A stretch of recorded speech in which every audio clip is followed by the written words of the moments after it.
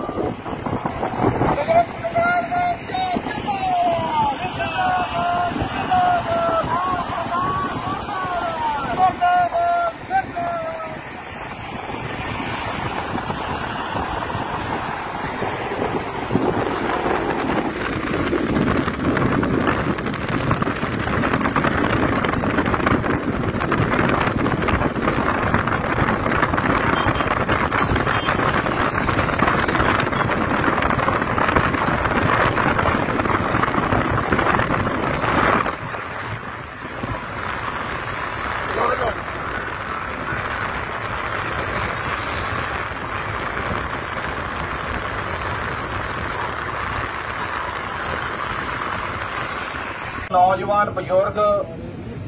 ਮੇਰੀਆਂ ਬੀਬੀਆਂ, ਭੈਣਾਂ, ਬੱਚੇ ਸ਼ਾਮਲ ਹੋਏ ਆ, ਉਹਨਾਂ ਦਾ ਬਹੁਤ ਬਹੁਤ ਧੰਨਵਾਦ।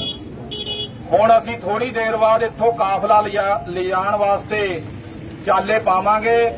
ਸੋ ਪਹਿਲਾਂ ਜੋ ਦੁਆਬਾ ਕਿਸਾਨ ਯੂਨੀਅਨ ਪੰਜਾਬ ਨੂੰ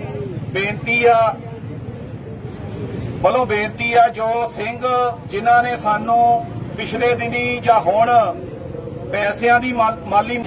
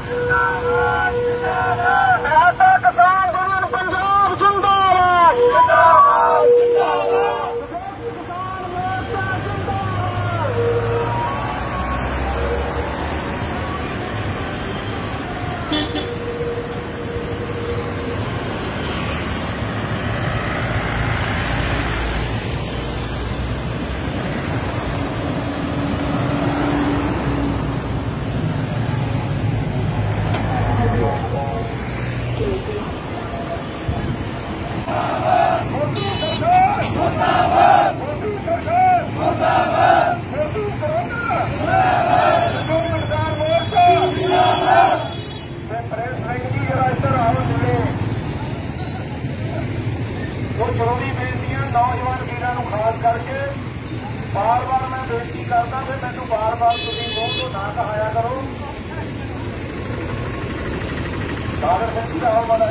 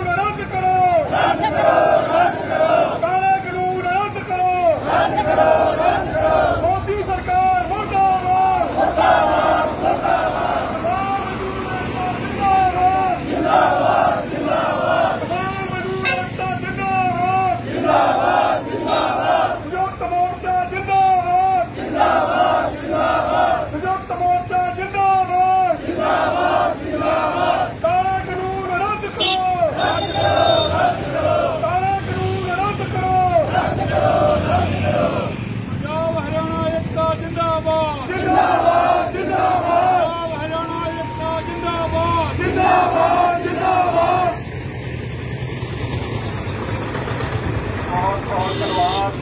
ਔਰ ਸਾਰੇ ਲੋਕਾਂ ਨੂੰ ਬੇਨਤੀ ਆ ਕਿ ਆਪਣੀਆਂ ਆਪਣੀਆਂ ਗੱਡੀਆਂ 'ਚ ਬੈਠੋ ਸਾਡੀ ਗੱਡੀ ਪੁਲਿਸ ਨੂੰ ਕਹਿ ਦਿੱਤਾ ਜਾਵੇ ਜਿਹੜੇ ਤੋਂ ਸਵਾਰ ਕੋਈ ਘਾਟਾ ਦਾ ਕੋਈ ਮਾਰ ਲਓ ਉਸਦਾ ਮੁੱਦਾ ਦਾ ਉਹ ਹੈ ਮੋਰੇ ਕਰੀ ਕਰਕੇ